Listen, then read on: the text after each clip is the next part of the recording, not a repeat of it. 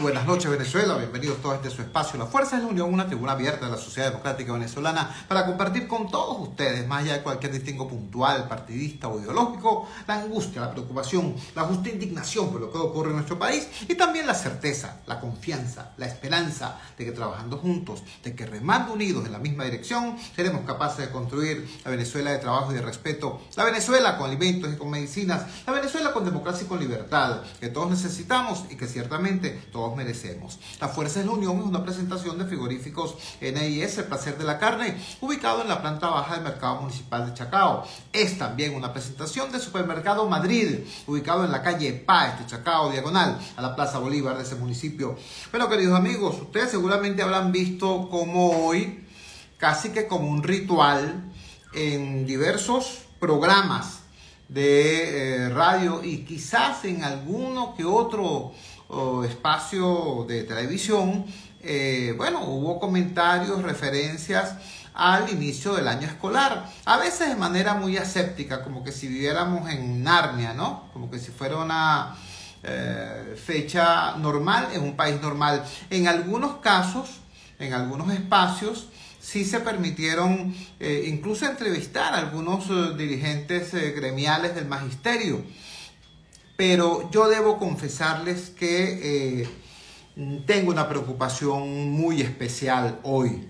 Hoy es el día en que debería iniciarse el año escolar y ciertamente podríamos hacer una afirmación ritual, ¿no? Decir, bueno, eh, el año escolar es nuevo, pero el conflicto es viejo porque no nos han parado, tal y cual, y sigue el maltrato salarial a los trabajadores de la educación, etcétera, ¿no? Pero yo tengo, repito, una preocupación. Cuando digo yo me refiero a los uh, activistas de RAR de los barrios y a la gente que hace trabajo comunitario en diversas zonas de la ciudad y del país. Tenemos una preocupación especial esa preocupación tiene que ver con que eh, desde hace días hemos tenido información sobre el uso de la fuerza pública, incluso dentro de escuelas, dentro de los planteles eh, escolares, para hostilizar a los maestros. Eh, y hoy, concretamente hoy, en zonas del país, concretamente en el estado Aragua, tuvimos reportes de eh, la Guardia Nacional en la puerta de algunos planteles eh, supuestamente recibiendo el año escolar. Todo eso junto a una declaración francamente provocadora de la ciudadana que ocupa desgraciadamente eh, el Ministerio de Educación, que ejerce supuestamente, que funge como ministro de Educación, sí, el mismo cargo que alguna vez tuvo Arturo Uslar Pietri, el mismo cargo que alguna vez tuvo Luis Beltrán Prieto Figueroa, el mismo cargo que alguna vez tuvo el doctor Cárdenas Colmenter. Lo ocupa ahora una dirigente del PSUV llamada Yelixe Santaella, que tuvo la simpática ocurrencia de declarar en el canal 8 que, bueno, que le pide a los maestros paciencia y que habrá eh, aumento salarial para los maestros cuando mejore la situación económica del país y que mientras tanto ella va a habilitar un código QR y un dispositivo electrónico para vigilar quién asiste o no asiste a las escuelas y liceos de nuestro país. Repito, eso es una provocación una provocación por parte de un Ministerio de Educación que a instancias de ellos, de ellos mismos crearon una cosa horrenda llamada el horario mosaico para que los profesores y maestros no asistieran precisamente a, los, eh, a las instituciones educativas pudieran dedicarse a matar tigres para medio sobrevivir. Eso es una política no oficial, pero sí oficiosa del Ministerio de Educación. Por eso, insisto, esta declaración de la señora eh, que funge como ministro de Educación es por lo menos una provocación. Sobre eso y muchas otras cosas se pronunció hoy la presidenta de la Federación Venezolana de Maestros, la eh, profesora, la educadora, la eximia maestra venezolana Carmen Teresa Márquez y la tenemos en línea en este momento. Profesora Márquez, gracias por atender nuestra llamada del Gigante Rumbos. Muy buenas noches. Eh, vimos ya algunos de los elementos de su rueda de prensa. Por favor, comparta esos datos que usted manejó hoy con nuestra audiencia. Buenas noches, le escuchamos. Buenas noches, buenas noches, ¿cómo están ustedes? Un saludo por tu precioso programa y gracias por permitirme opinar sobre el inicio del año escolar. Un año escolar realmente que en otros tiempos era de alegría, de esperanza, los niños estrenando su uniforme, los niños con sus morales nuevos. Pero este año no ha sido así. Y los maestros desmotivados totalmente, con su cara en las escuelas hoy se incorporaron y militarizadas muchas escuelas. Ejemplo, rechazamos la conducta del gobernador del estado Trujillo, donde había policías casi todas las escuelas de Valera y de otros municipios. Acá en el estado Miranda, en el municipio de Acevedo, también militarizada una escuela en Miranda tuvieron que salir a protestar por el estado de las escuelas y así en Tomate aquí en Caracas donde realmente rechazamos totalmente el hecho de que los maestros no son delincuentes. Los maestros han estado luchando con sus dirigentes sindicales, exigiendo al gobierno nacional lo que les pertenece, que es un aumento salarial para, salarial para vivir con dignidad. Y esta es la respuesta que ha hecho el gobierno nacional en el inicio del año escolar. Así que nosotros exigimos y le damos toda la responsabilidad. La paz escolar la garantiza el gobierno nacional. El gobierno nacional tiene la última palabra. El gobierno nacional debe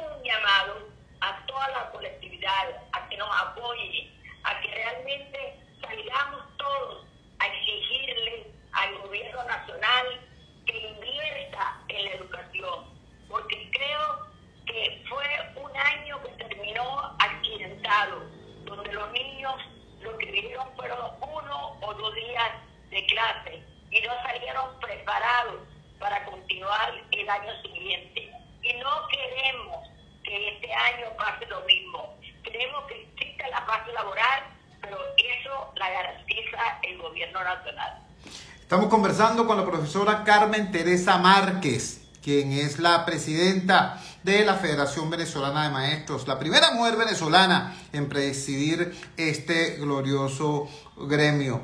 Eh, profesora Márquez, quisiera que nos diera su opinión.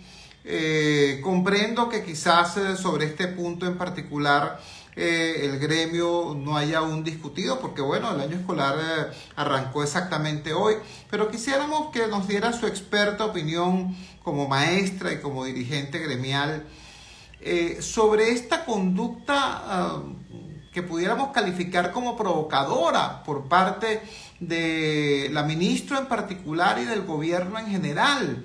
Es decir, el mismo gobierno que inventa esa aberración del eh, horario mosaico, es decir, que estimula a los maestros a no asistir a las aulas determinados días, eh, la misma ministra que cuando fue gobernadora de un estado del interior del país tuvo la infeliz idea de decirle a las maestras y a los maestros que vendieran heladitos, que hicieran tortas, que, vendieran granjerías para complementar su pírrico salario. Esa misma persona, pues que eh, como representante institucional y como dirigente político, en más de una ocasión ha estimulado a los maestros a que hagan cosas distintas al acto de educar, entonces aparece hoy amenazando implantar un código QR en las escuelas y liceos para vigilar, para espiar a los maestros, para ver quién va o no va, cuando ella sabe, como usted bien dice,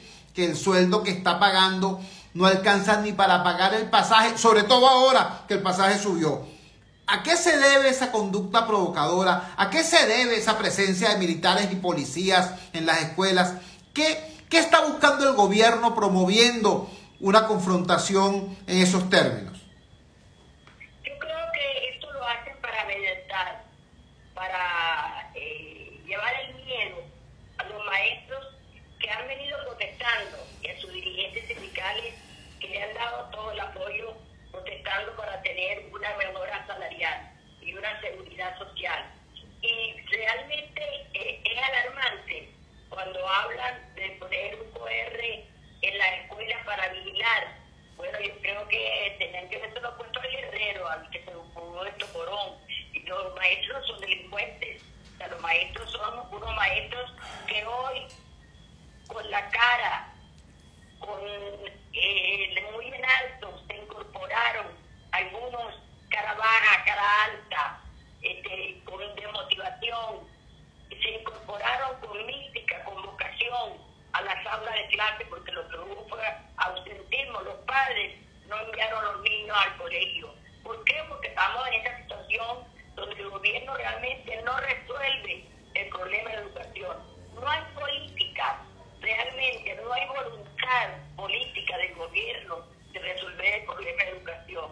No sé si es que no quiere talento, no quiere profesionales, lo que quiere es tener el control de la gente. Entonces, quiere acabar con la educación y sobre todo con la educación de los más necesitados, que son los niños que van a las escuelas. Por eso le hago un llamado y yo me insisto en hacerle un llamado al patrono, al gobierno, al Ejecutivo Nacional, a la vicepresidenta de la República, que nosotros muy amablemente fuimos a su despacho a llevarle un documento donde le planteamos todas las exigencias del magisterio y a esta altura nosotros no hemos recibido respuesta ni siquiera para atendernos y darnos una respuesta en cuanto a lo que planteamos en ese documento. El gobierno para mí quiere acabar con la educación. ¿Qué intención tiene? Realmente no sé. Pero no es posible que se han hecho más de 3.000 protestas el año pasado y el gobierno le hace caso omiso a eso. No le importa. Y por supuesto, es una lástima llegar al horario mosaico. Los niños no pueden pagar lo que hacen los gobiernos.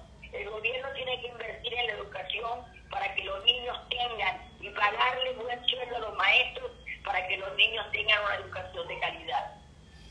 Profesora, quiero agradecerle enormemente que nos haya regalado estos minutos y quiero reiterarle que esta humilde ventana está a la orden del magisterio venezolano para acompañarlos en sus luchas, tal como ocurrió en el año escolar eh, anterior. Así que reciba de parte nuestra la reiteración de nuestro respeto y de nuestro profundo agradecimiento como venezolanos, porque la lucha de los maestros es la lucha del por los niños de Venezuela. Como decía el viejo lema de la Federación Venezolana de Maestros, por el niño, por la escuela, por Venezuela. Gracias y buenas noches.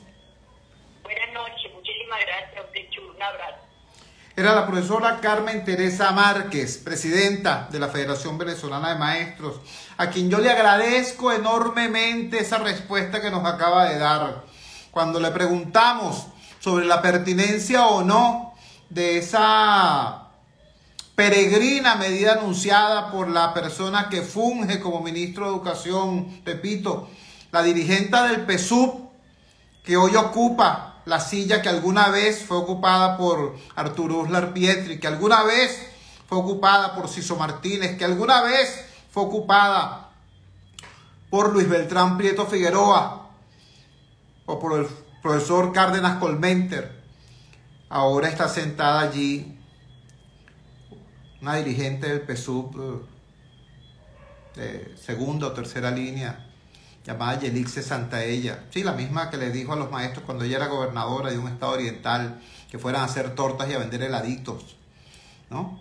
La misma que inventó esta aberración que es el horario mosaico, del que ahora se desdice y dice que los maestros tienen que asistir todos los días y que va a implantar un sistema electrónico de vigilancia en las escuelas y liceos para ver quién asiste o quién no asiste.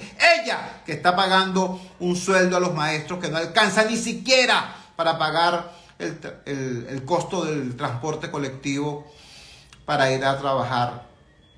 Bueno, esta persona, ah, repito, amenazó con implantar un código QR en las escuelas y liceos para vigilar a los maestros.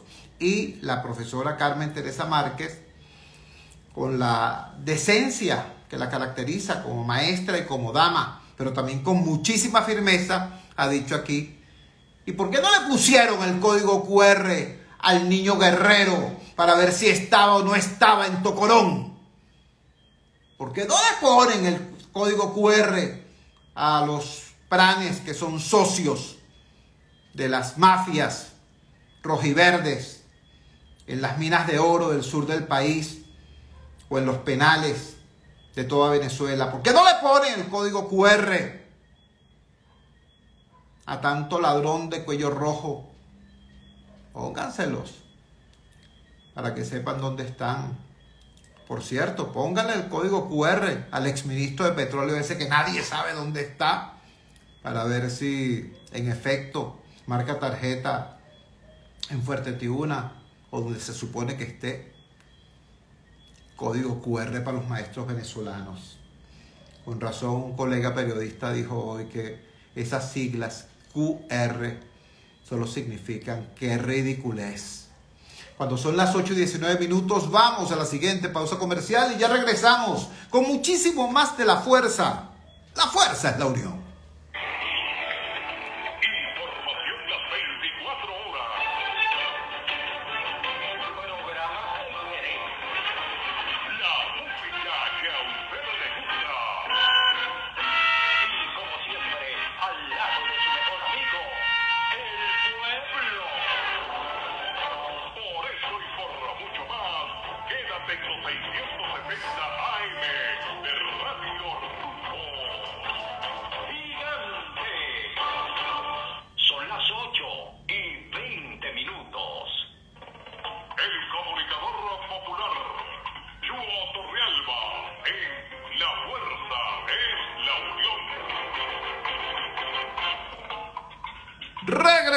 A la Fuerza de la Unión y tenemos que hacer eh, un alto en nuestra información de carácter social para referirnos al tema político. Es inevitable. Recuerden aquella eh, máxima, aquella vieja expresión que sigue siendo verdad. Si tú no te metes con la política, la política se mete contigo. Y los efectos de eso último terminan siendo desastrosos. Eh, tenemos algunas informaciones que son relevantes en la tarde-noche del día de hoy.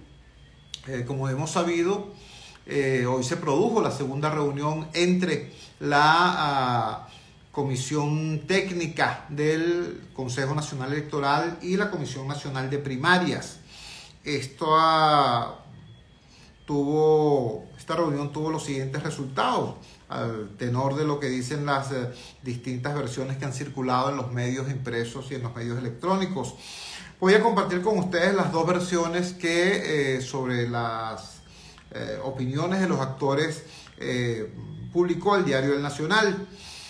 nos dicen en despacho oh, publicado en la tarde de hoy, la oposición mantiene el 22 de octubre como fecha para la primaria la Comisión Nacional de Primarias solicitó al Consejo Nacional Electoral apoyar la elección, permitiendo disponer de centros de votación oficiales, instituciones educativas, como complemento o sustitución de los ya conseguidos.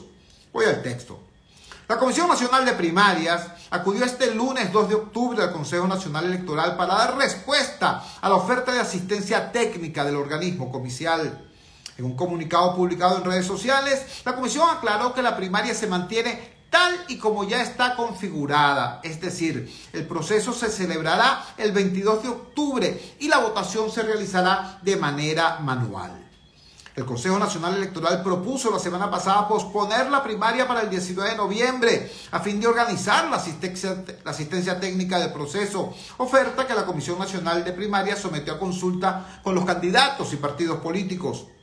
En las consultas, dice el comunicado de la Comisión de Primarias, hubo coincidencia en agradecer al Consejo Nacional Electoral su propuesta de asistencia técnica con uso del sistema automatizado de votación, que hubiera sido de utilidad previa verificación de los detalles. De tal asistencia a comienzos de junio de 2023, cuando esta Comisión Nacional de Primaria solicitó al Consejo Nacional Electoral una reunión de la Comisión Técnica Conjunta que nunca fue convocada. Habiendo transcurrido casi cuatro meses desde el 5 de junio de 2023, fecha de esa solicitud, la elección primaria que estamos conduciendo está ya en su fase final, con un cronograma próximo a culminar con la celebración de la elección el 22 de octubre de 2023, indicó el comunicado. El documento expone que ya ha avanzado en diseño, consolidación y cumplimiento del cronograma en etapas y tareas como la admisión de 13 postulaciones, el registro de más de 300.000 venezolanos en el exterior, más de 40.000 postulados a miembros de mesa que ya están siendo formados para un procedimiento de votación manual, ubicación de 3.010 centros de votación en el país en los que funcionarán más de 5.000 mesas electorales y aprobación de la boleta de votación. Ese es el comunicado de la Comisión Nacional de Primarias que circuló hoy en la tarde en respuesta a la oferta de eh, asistencia técnica formulada por el directorio del Consejo Nacional Electoral. Como están escuchando, como están viendo, esta respuesta se parece mucho a, una canción de un cantante pop español que dice algo así como, te lo agradezco, pero no, te lo agradezco, vida mía, pero no. Eso es lo que en pocas palabras dice este comunicado. Agradecemos la oferta de asistencia técnica, pero, dice la Comisión Nacional de Primarias, ya tenemos todo esto listo, ya esto está avanzado. Este, agradecemos apoyo sí, solo sí, es para reforzar lo que ya está decidido.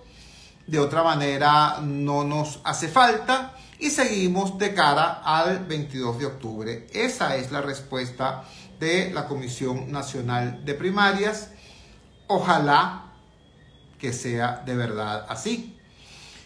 También el Consejo Nacional Electoral fijó posición después de esta reunión y el mismo diario El Nacional eh, da cuenta de ello. El titular es el siguiente. El Consejo Nacional Electoral ratificó su disposición de brindar asistencia técnica a la primaria. Voy al texto. El Consejo Nacional Electoral ratificó este lunes su disposición a brindar apoyo técnico automatizado a la primaria que la oposición celebrará el próximo 22 de octubre, en la que definirá su abanderado para las presidenciales de 2024, luego de que el sector opositor reiterara este lunes que su proceso será autogestionado y manual. En un comunicado, el ente electoral aseguró que la asistencia tiene el objetivo de garantizar un proceso confiable, transparente, que estimule la participación de todos los electores y electoras bajo un clima de absoluta seguridad. Expresó estar preparado para garantizar las primarias y cualquier otra elección y reafirmó su compromiso con el pueblo venezolano en el fortalecimiento de la democracia. Los venezolanos debemos estar orgullosos de tener el mejor sistema automatizado del mundo, aseveró el Consejo Nacional Electoral, que recordó tener la competencia exclusiva de organizar elecciones, suministrando apoyo técnico y logístico a gremios profesionales, sindicatos, organizaciones con fines políticos, entre otros. La Comisión Nacional de Primarias, que organiza estos comicios internos, rechazó este lunes la propuesta del CNE de posponer el proceso para el 19 de noviembre y en cambio pidió a la institución que apoye la elección tal como está configurada. Bueno, esto es lo que salió de la jornada del día de hoy. Eh, para resumirlo, la Comisión Nacional de Primarias le dijo al Consejo Nacional Electoral, no, gracias. Aceptamos tu ayuda sí y solo sí es para reforzar lo que ya hemos hecho nosotros. ¿Por qué? Porque te pedimos la ayuda hace más de tres meses, ¿no? Y vienes ahora a ofrecer ayuda cuando ya estamos a menos de un mes de las eh, elecciones primarias. Esa es la respuesta de la Comisión Nacional de Primarias.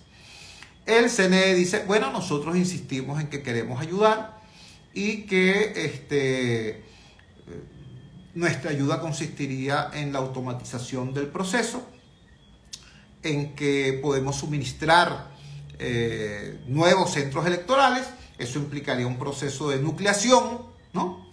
Este, y eso implicaría necesariamente eh, un lapso, un tiempo necesario que llevaría la primaria por lo menos un mes más allá, y habían hablado como fecha tentativa el 19 de noviembre.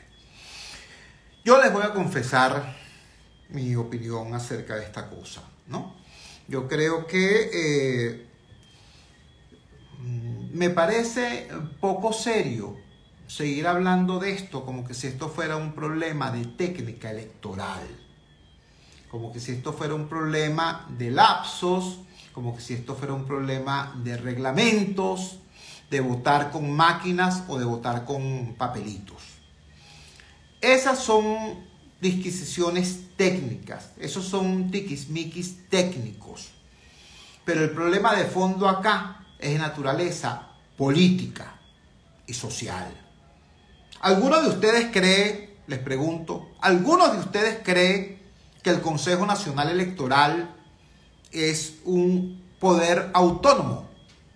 ¿Alguno de ustedes cree que el señor Elvis Hidrobo Amoroso hace desde la presidencia del Consejo Nacional Electoral lo que a su buen entender debe hacer de acuerdo a lo que dice la ley electoral y la constitución?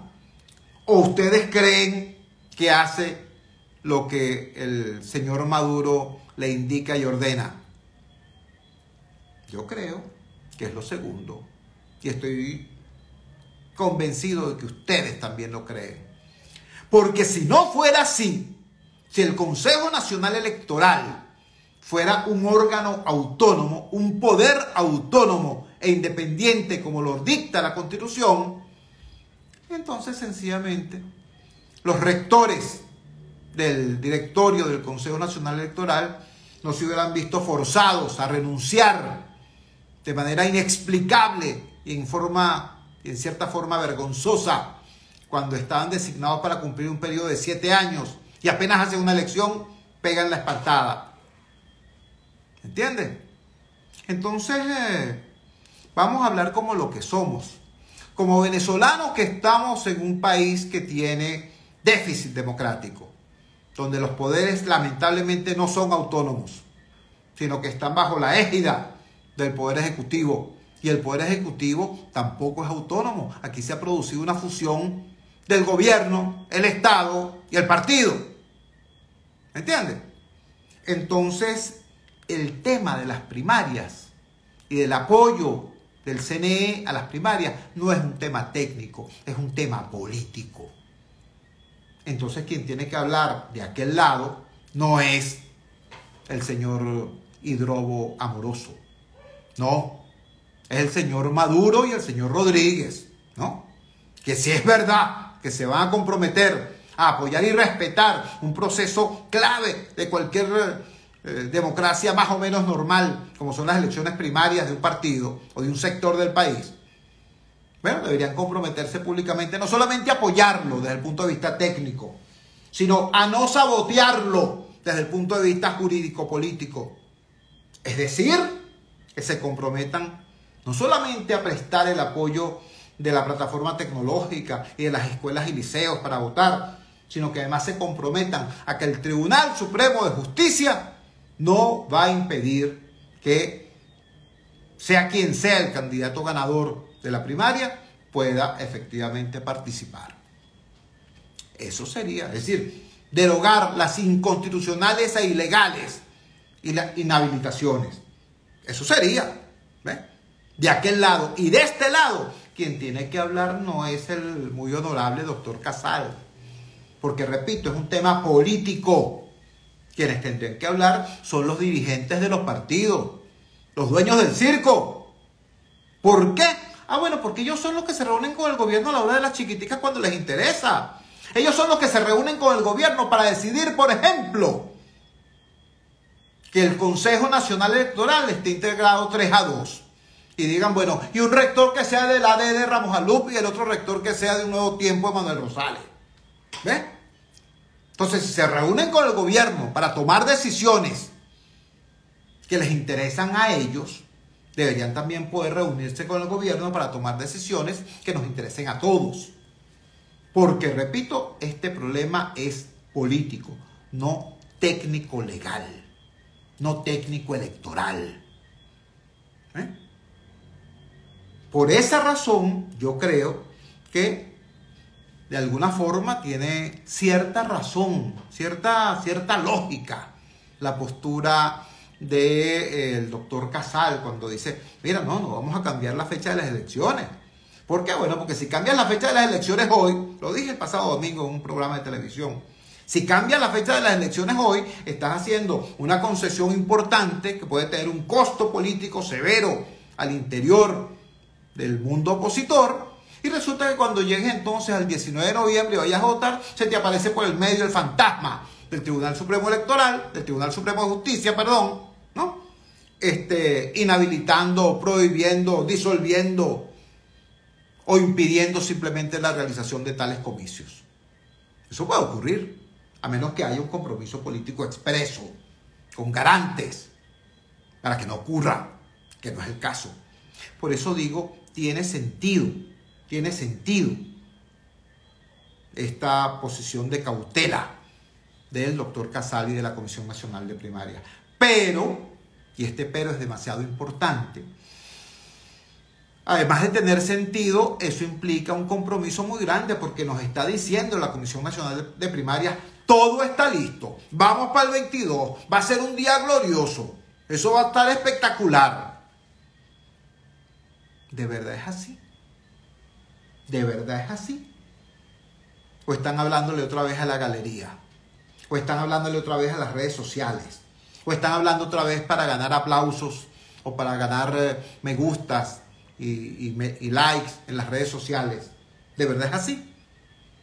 Porque la información que yo tengo es que a estas alturas hay problemas importantes la información que yo tengo es que casi todos los habitantes del 23 de enero están nucleados para votar en Chacaíto.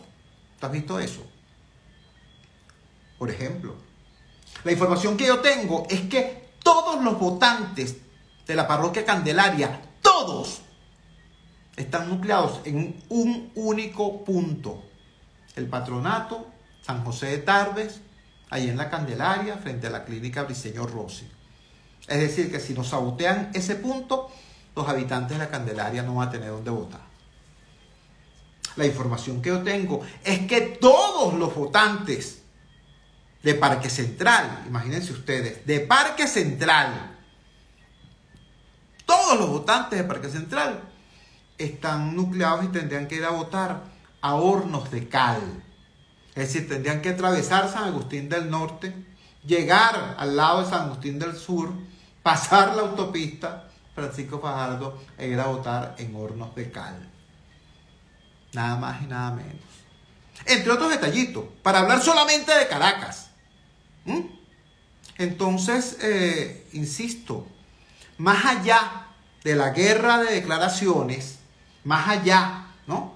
Del cuento aquel de que, bueno, el gobierno dijo negro, yo digo blanco, el gobierno dijo rojo, yo digo azul, el gobierno dijo tal cosa, yo digo tal otra. Más allá de eso, entiendan que no están hablando con el gobierno ni para el gobierno, entiendan que están hablando para el país, para la esperanza del país.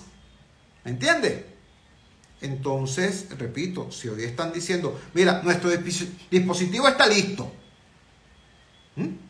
que sea verdad, porque está incurriendo en una afirmación eh, en la que muchos van a creer, y si eso no es así el 22 de octubre, muchos también van a sentirse decepcionados, y eso también va a ser un triunfo del gobierno. Eso también hay que evitarlo. Cuando son las 8.36 minutos de la noche capitalina, vamos a la siguiente pausa comercial. Vamos a identificar la valiente señal del gigante Rumbos y ya regresamos con muchísimo más de la fuerza. La fuerza es la unión.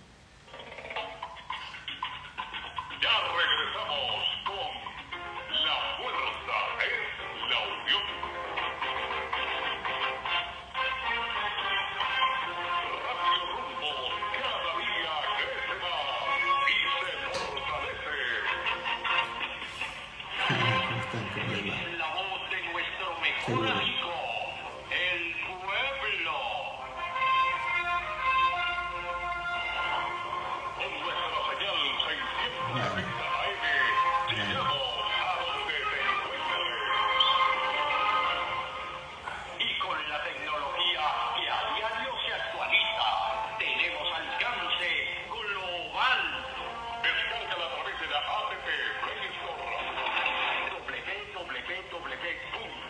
www.radio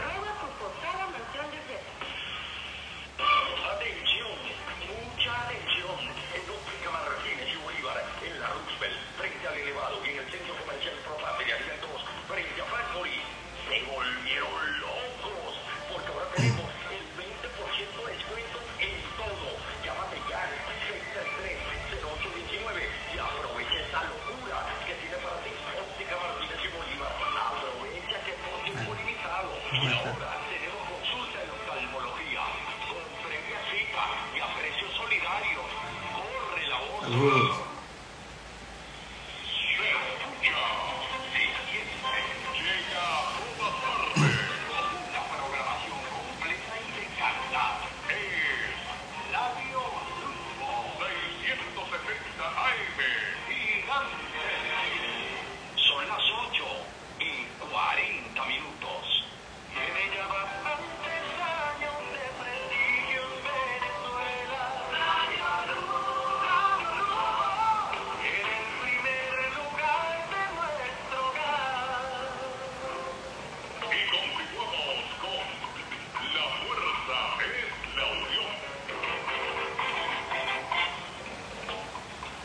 Regresamos a la Fuerza de la Unión y lo hacemos retomando nuestra preocupación central, que es el tema social.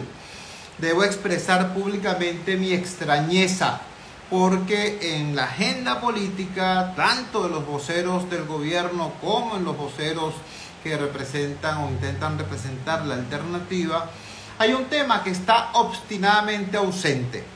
Ese tema es el tema de la comida, así de simple, de la comida.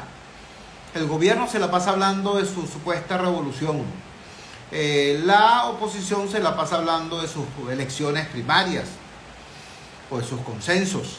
Este, y el tema de qué llevan los venezolanos a su mesa y los malabarismos que tienen que hacer para lograrlo, este, sencillamente no aparece o aparece muy poco, muy desdibujado en lo que son los discursos públicos de los eh, distintos actores. Eh, sobre todo cuando hay gente preocupadísima que ha estado trabajando, planteando, proponiendo, no solamente denunciando, sino proponiendo alternativas en materia de políticas públicas, este, y repito, han sido sistemáticamente desoídos. Un ejemplo de esto es la directiva de Fedeagro. Fedeagro tiene bastante tiempo advirtiendo cómo oh, la importación y el contrabando están literalmente reventándole las rodillas a los productores venezolanos que tienen que competir eh, de manera absolutamente, bueno, eh, insuficiente frente a una arremetida totalmente desleal. Eh, nos han dicho también los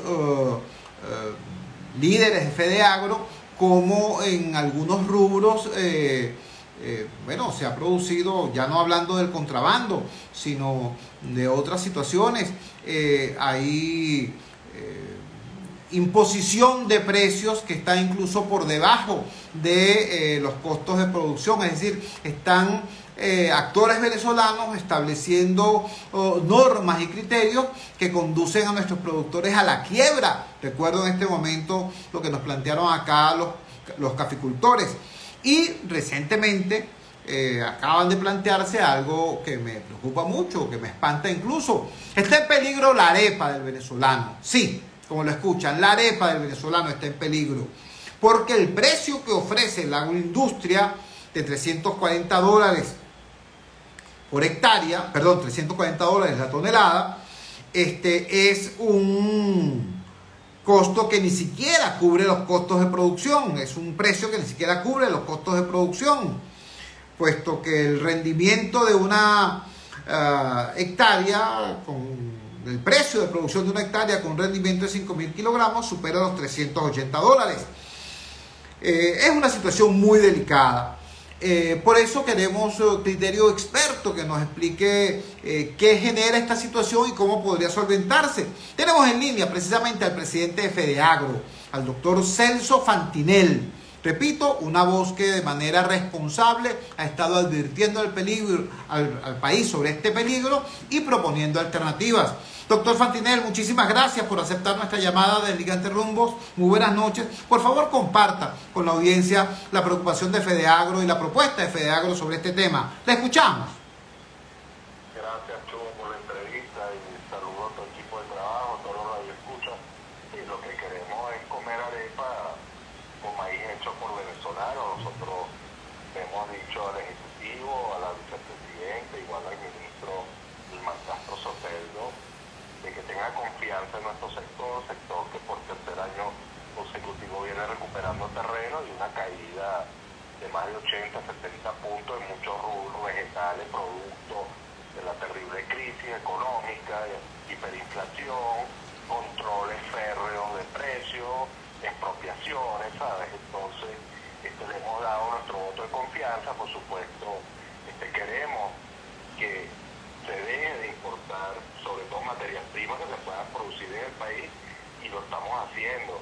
Vamos a producir más del 70% del maíz blanco hecho en Venezuela, el maíz amarillo sí está por detrás alrededor de, un 40%, 45%, el arroz con este ciclo de invierno vamos a tener por 53% de, de, lo que es la producción interna, azúcar por tercer año consecutivo recuperamos terreno y este año 2024 vislumbramos alcanzar hasta un 70% del consumo, pero vemos que entre el contrabando, vemos cómo este, los precios de, estas materias primas que acabo de nombrar se desplomaron a niveles internacionales y vienen de países donde subsidian la agricultura, subsidian al agricultor, subsidian sus exportaciones, de manera que entonces nosotros no podemos competir, los precios han caído, sabemos las dificultades que tiene también la industria con los flujos de caja, ha caído el consumo interno, eso, eso lo hemos venido viendo en estos últimos 8 o 9 meses, y realmente nos preocupa de parar este, esta recuperación, recuperación que es importante, el maíz motoriza 11 estados de Venezuela, está presente en 11 estados, de manera que es importante para la economía de, los estados agrícolas que se motoriza el maíz, el arroz, y hablando de la caña de azúcar, tocando el tema café, bueno, mira, salió una reunión la semana pasada, donde activaron unos precios, donde ponen, ponen de acuerdo con la agroindustria, pero la agroindustria no aparece por ningún lado. De manera que decir, ok, hay problemas de todo no tienen la chequera de los bancos como la tenían 10 años atrás, y entonces hay que reajustar todo. Vemos como el café, vemos como el arroz, vemos como el maíz está cayendo en manos de intermediarios, entonces eso le tumba el precio a nivel de producción en el campo. Vemos como el maíz amarillo, sobre todo, lo quieren cancelar en campo, inclusive a 270 dólares la tonelada, el maíz blanco inclusive hasta menos de 300, hay una industria formal que ofreció 340 y como tú leías es insuficiente para nuestros costos de producción impactados, bueno, por inflación alta, impactados porque vienen importados de otros países, impactados porque no tenemos financiamiento, hay empresarios que también consiguen financiamiento interno, externo, unas tasas superiores a lo que puede ser la cartera agropecuaria, que es insuficiente. Entonces todo este cóctel hace que a nosotros nos sea este, complicado producir internamente. Por otro lado, este dólar que no se devalúa como se devalúa el bolívar y hace las importaciones mucho más económicas y baratas, sin aranceles e IVA. Todo esto lo hablamos a nivel del Ministerio de Finanzas, del Ministerio de Agricultura, pero no es fácil, la toma de decisiones se ralentizan, tardan meses, entonces caramba, nosotros estamos en el medio de todo eso, por supuesto pequeños y medianos productores de verdad que están en riesgo, cada vez están desapareciendo más productores pequeños y medianos porque no hay apoyo. El Ministerio de Agricultura, tú lo sabes, no tiene el presupuesto que tenía inclusive 7, 8 años atrás, el ministro también tiene pocos recursos, la banca, este, la cartera agropecuaria puede que cierre este año unos 200 millones de dólares cuando el sector, según nuestro análisis, necesita unos 1.500 millones de dólares para recuperar capacidades y aseguro que en cinco años estaríamos solamente importando trigo con este nivel de inversiones. A hoy día estamos importando algo más de 3 mil millones de dólares en materias primas y alimentos terminados que se pueden producir en Venezuela. La industria venezolana es una industria de primera línea mundial. Nuestro, nuestra normativa de alimentos es de países ricos. Nosotros no tenemos alimentos tipo B, tipo C, como lo tienen países vecinos aquí en Sudamérica, en Latinoamérica. De manera que todo eso hay que tomarlo en cuenta y deberíamos realmente llevar una política que vaya de verdad dirigida al campo y de una vez por todas no es que estemos subsidiando por subsidiarlo o dándole incentivo al campo solamente para que se pierdan grandes cantidades de dinero, no. Nuestras organizaciones, asociaciones, tenemos salas técnicas, tenemos ingenieros agrónomos, nosotros estamos montados en producir más, en tener mayor rentabilidad, pero un entorno político, económico, social, ¿sabes? difícil, ni hablar de infraestructura, ni hablar de seguridad, ni hablar los costes eléctricos, ni hablar con la oferta de diésel o gasolina, que si bien es cierto, ha mejorado de lo que era hace tres años, hay que decirlo, pero que todavía falta. Entonces todo ese cóctel hace que las importaciones sigan siendo más baratas, pero este, ¿qué pasa con nuestros trabajadores? ¿Qué pasa con nuestras familias en el campo? Más desempleo, más pobreza.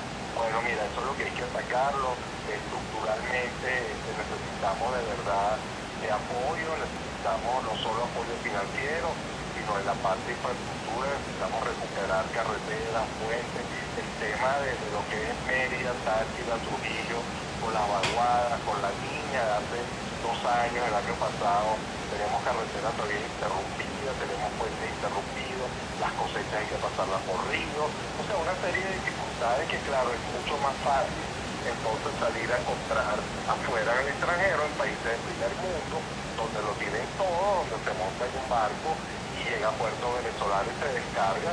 Esa estructura funciona muy bien, el buque llega, hay una unidad de transporte, se monta granero de transporte la industria, pero tenemos todo, todo, unos 500 mil productores, más de 500 mil fincas, este, luchando, tratando de preservar nuestra unidad de producción, tratando de preservarle este, trabajo, el puesto de trabajo a toda esta ruralidad, pero es un entorno complicado, chulo, este, yo nunca, casi 50 años que tengo yendo para la unidad de producción, cuando yo con mis padres, mis tíos, yo no había visto una dificultad tal en destrucción de las vías agrícolas, ¿no? el tema del agua potable que, que, que la teníamos hace una década y ahora no la tienen, carreteras todas asfaltadas y ya no están asfaltadas y ahora son de tierra nuevamente, o sea, hemos evolucionado, digamos, para atrás y entonces, claro, por supuesto que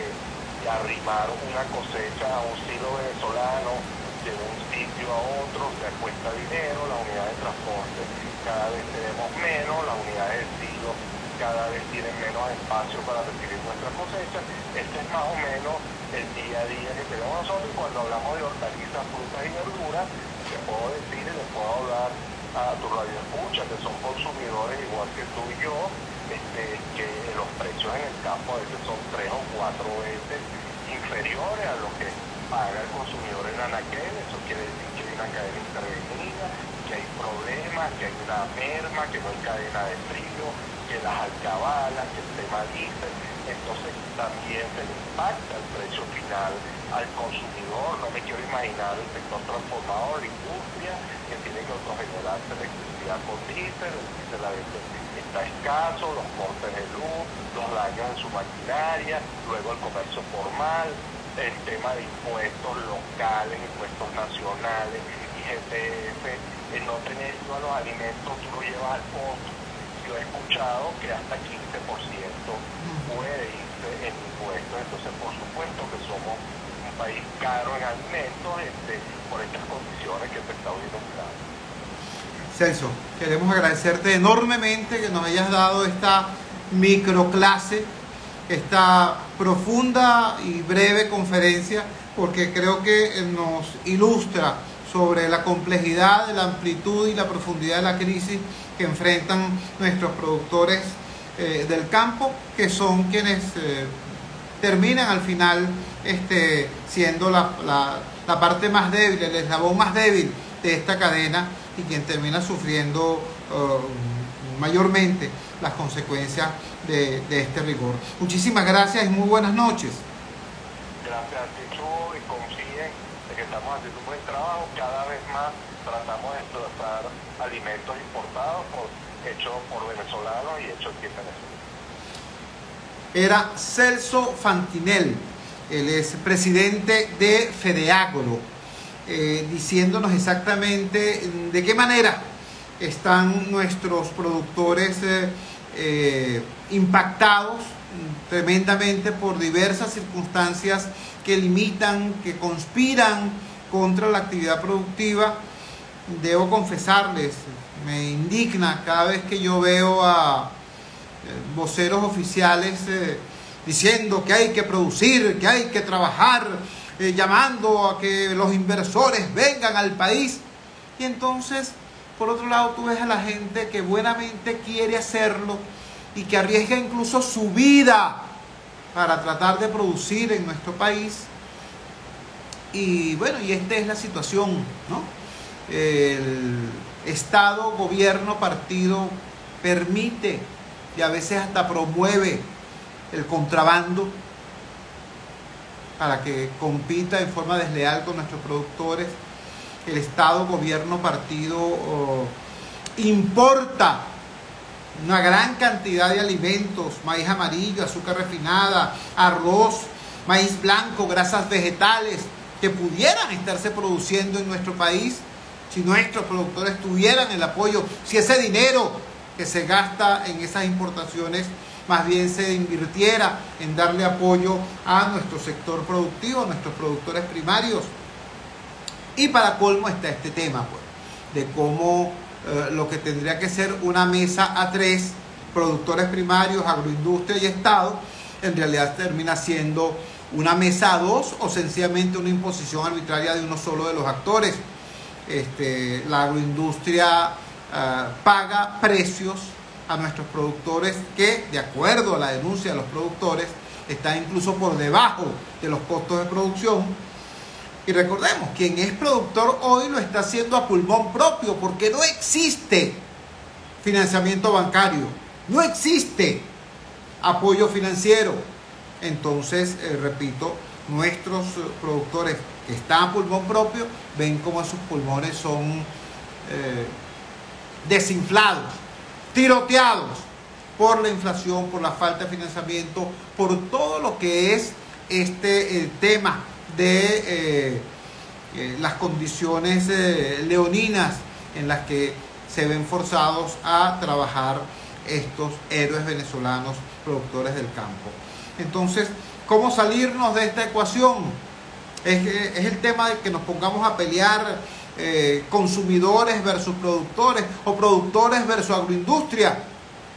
¿O es por el contrario necesario un gran consenso nacional en, la definición y desarrollo de políticas públicas, presionando a ese actor que es el Estado, que es el gobierno, para que actúe de manera congruente con los intereses de la nación y de la sociedad, es eh, realmente duro, realmente duro escuchar a la gente de FEDEAGRO y, y entender además que si ese clamor que tienen no es atendido, este, los productores van a sufrir, van a quebrar, pero nosotros los consumidores vamos también a pagar las consecuencias de todo esto, porque hemos dicho una y mil veces, la comida no nace en los supermercados. La comida nace en el campo. Y si en el campo no hay comida, entonces vendrá de otros sitios, a otros costos. Y ese costo será para algunos un costo en bolívares o en dólares muy alto. Y para otros será un costo en hambre, en enfermedad y en muerte. Ese es el tema. Eso es lo rudo. Eso es lo duro. Y eso es precisamente lo que hay que evitar. Cuando son las 8.58 minutos de la noche capitalina, nos despedimos. Trabajamos para ustedes en la presidencia del Gigante Rumbos, la doctora Elsa Siciliano. Al frente de los controles estuvo, como de costumbre, el señor Luis Salazar. Habló para ustedes de su amigo, comunicador popular, activista social, ciudadano en lucha por la democracia y por la libertad, Jesús Choto Realba. Ahora más que nunca, fuerza, Venezuela, porque la fuerza, la fuerza es la unión. La fuerza de la unión fue una presentación de frigoríficos NIS, el placer de la carne, ubicado en la planta baja del Mercado Municipal de Chacao. Es también una presentación de Supermercado Madrid, ubicado en la calle Paz de Chacao, diagonal a la Plaza Bolívar de ese municipio. Cuídense muchísimo. Hay un torrencial aguacero en este momento sobre Caracas. Eh, ojalá que no se repita la muy ruda situación que ocurrió en Horizonte, en Palo Verde también, este, que fue denunciada por Juan Carlos Pidal. Ojalá no haya una desgracia en el elevado de la Roosevelt. Ese elevado está convertido bueno, en una guillotina porque la banda de rodamiento se destruyó y los vehículos avanzan prácticamente sobre la plancha de acero que con la lluvia además se transforma en un resbaladero eh, peligrosísimo. Entonces, repito, cuídense muchísimo. Nos encontramos mañana a las 8 de la noche en la valiente señal del gigante Rumbos, si Dios quiere. Fino, hermano, gracias. Nos vemos mañana, pues.